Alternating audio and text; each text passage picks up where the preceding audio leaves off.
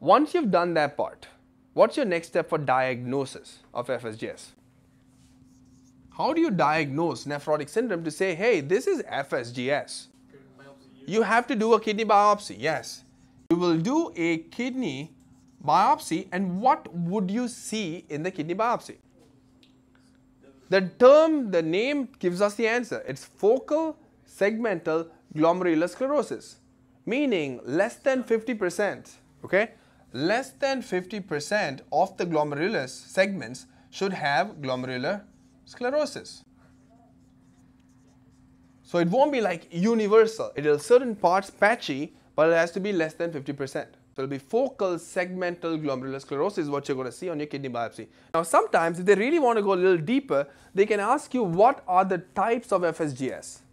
Because you diagnose FSGS and there's actually five types. One, two, three, four, and five. What are some of the types you guys know of? What happens with HIV patients? What specific type do they have? Have you heard of something known as a collapsing variant? you have something known as a collapsing variant, which is what you will see in a patient with HIV. So that can be a board question. They can say, hey, patient's got FSGS and patient's got HIV. What is the type that's going to be seen in these patients? Is a collapsing variant. And it carries the worst prognosis. It carries your worst prognosis. Okay, when you say worst prognosis, obvious question is going to be, well, what has the best prognosis? There is a variant which is known as a glomerular tip glomerular tip variant which is going to have the best prognosis. So those are two. We got three more to go. We'll call one of them the classic, right? You always have to have a classic variant, right? So start from your collapsing variant HIV. Glomerular tip, best prognosis. Then go for your classic. You have perihilar and cellular.